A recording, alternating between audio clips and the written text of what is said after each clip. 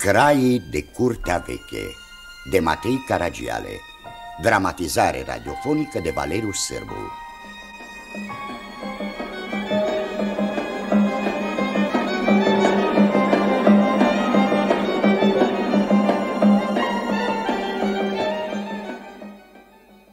Episodul al șaptelea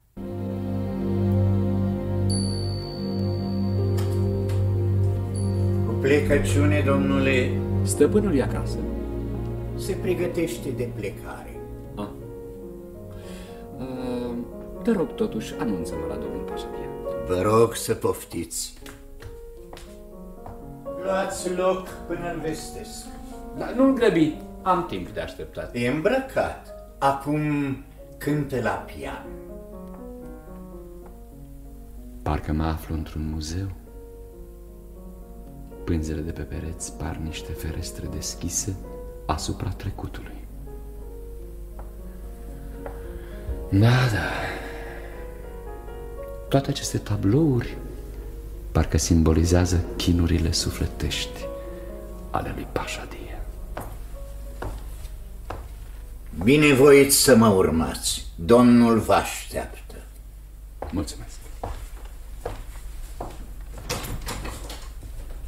Fi binevenit, prietene. Mi-a fost dor de dumneata. Numai că regret din suflet mai prins într-o situație neplăcută. Trebuie să plec neîntârziat. Mă bucur că te revăd. Nu te rețin decât o clipă.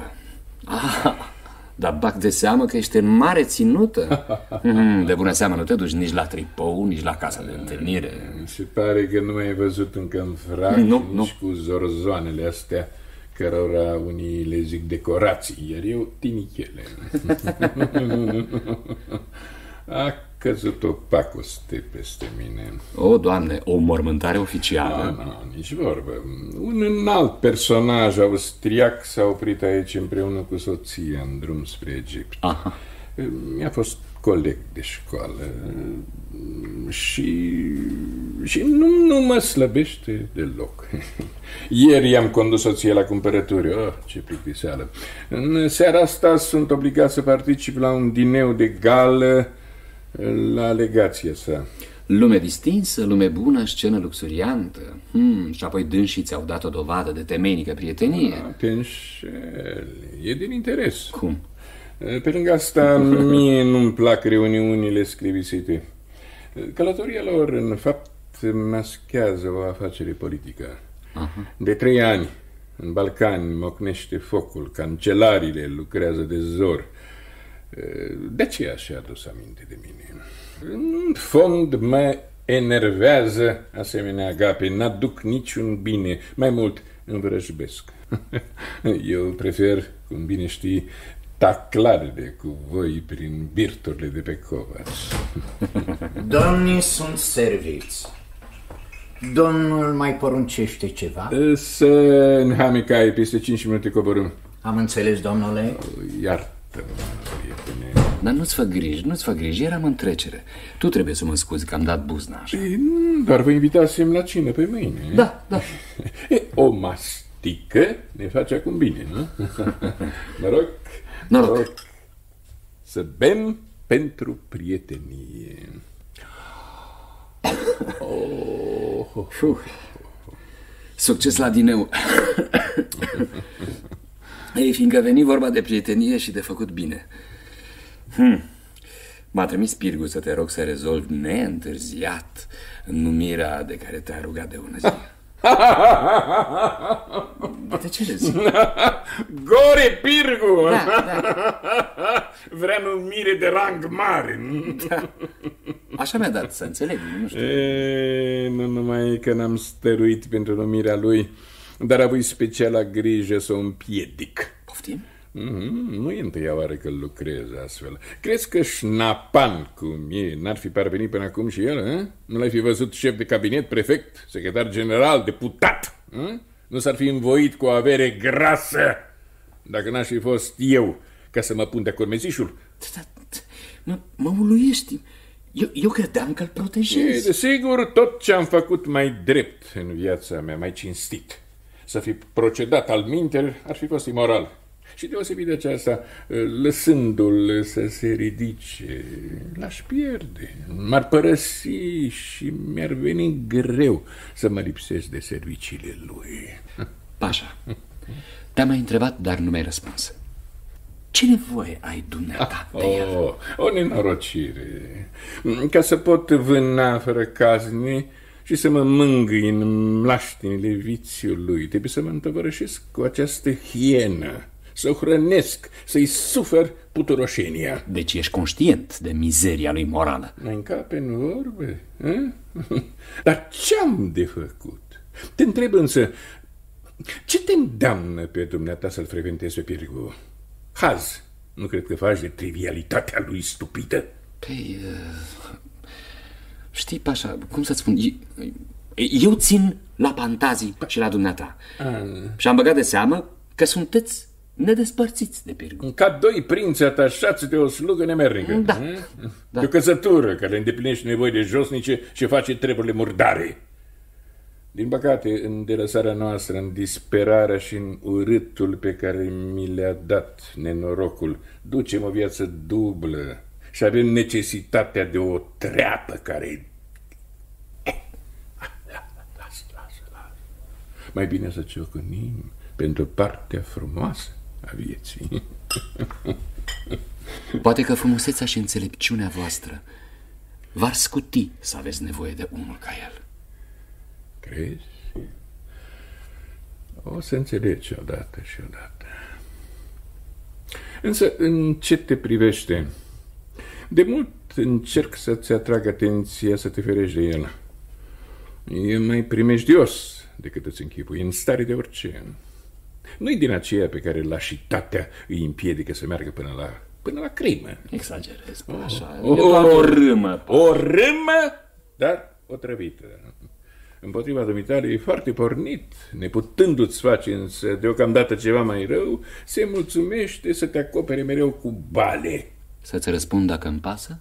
E bine, deloc. Am avut de altfel neplăcerea să constat culpabila slăbiciune ce ai de tot ce poartă stigmatele declasării, de tot ce e tarat, ratat, epavă. Și nu ți-aș fi găsit scuză nici când aș ști că e numai pentru a face studii, a lua schițe, fiindcă ar însemna atunci să plătești o marfă mult prea josnică pe un preț afară de scump. Știu și eu. Poate că m-am afundat în viața asta plăcându-mi deșertăciunile și mirosurile tare. Boema! Odioasă, imunda boemă! Ucide! și adesea nu numai la figurat. Deci boema nu e o stare de spirit, ci o mocirlă în care se zbat neajutorații vieții. Cum țin la dumneata mai mult ca la prietenia dumitale. Nu m-am temut că o să te super pe mine și mi-am permis acest blam indiscret. Îl retrag însă gata de a face o amendă onorabilă dacă mă asigur că ești mulțumit. Că după momentele de uitare de sine nu simți în dumneata gemând demnitatea rănită. Îți mărturisesc, dragă prietene, că nu mi-am pus în niciun fel problema. Și nici nu simt remușcări. Un fel de delăsare. Mai exact, o plăcută euforie care e anticamera visului. Iartă-mă. De o mii de ori iartă-mă că am scotocit prin intimitățile dumitale. N-ai vrea mai bine până ce în hamăcaie să ne spălăm sufletele cântându-ți ceva la pian? Hm? Ah, cum să nu, cum să nu? Te-am auzit când am intrat și vă întrebam dacă dumneata executai acea melodie desăvârșită. Oh, pe lângă multe altele am și această meteahnă. Mă subjugă armonia. Îți place Chopin?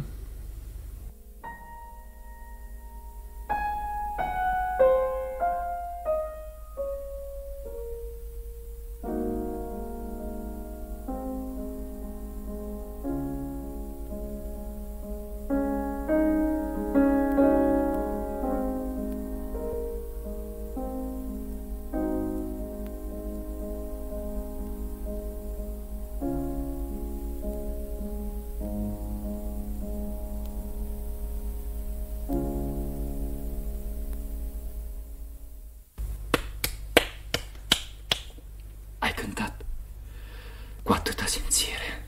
Cum să-ți spun...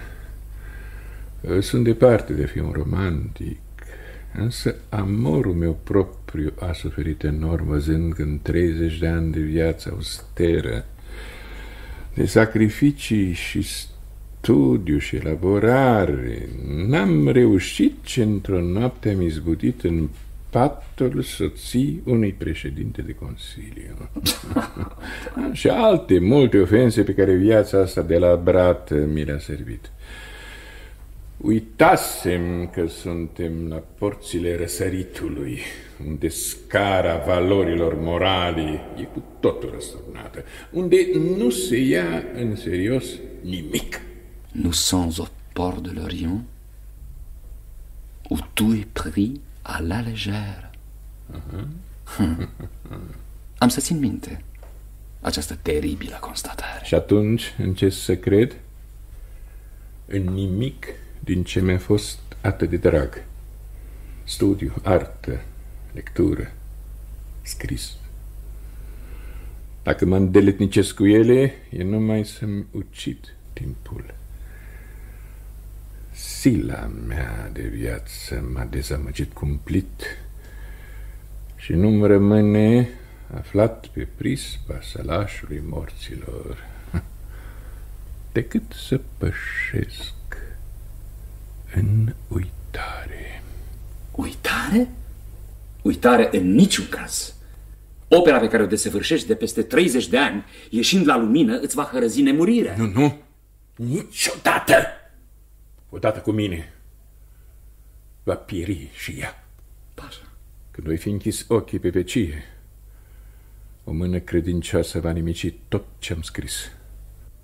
Patrie ingrată, nu vei avea oasele mele, a pus Cipiu africanul să-i se încrusteze pe mormânt. Oasele eu le las. Rodul scrisului meu însă, cugetare. Nu. Excelență, cupeul vă așteaptă.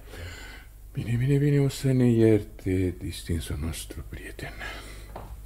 De fapt, am neplăcuta situație de a înlocui o agreabilă conversație cu domnia sa cu o întrunire plicticoasă.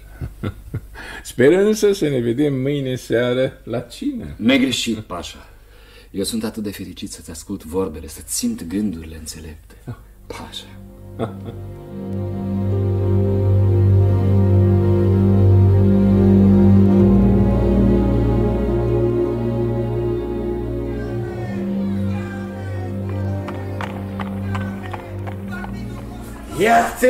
uită, domnule! Nu iese omul pe stradă și dă de tine. Unde te duci? La Academie. La, la renul său. S-a deschis? Dumne, ce fel de joc îndrăcit. Acolo m-au curățat odată. Mi-au făcut un carambol fals și m-au uscat. Păi nu, domnule Gorică, nu la Academia de Biliard. La Biblioteca Academiei, știi? Am de citit ceva. Ah, nu te lași, nene. O, nu te lași, nene, odată de prostii. Până când?